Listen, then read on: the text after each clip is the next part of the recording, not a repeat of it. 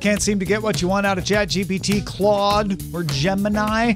Here are the top five tips to get great chatbot results. Number five, never take the first response. See what you get first, but don't stop there. Identify where it fell short and then make some adjustments to your prompts. Number four, be aware of LLM limitations. They are not all knowing, they are far from perfect.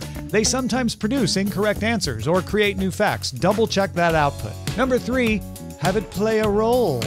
Ask the model to assume a particular persona or viewpoint. If you want to know what a day in the life of an airline pilot is, for example, start the prompt with, You're an airline pilot preparing for a flight. Number two, use examples.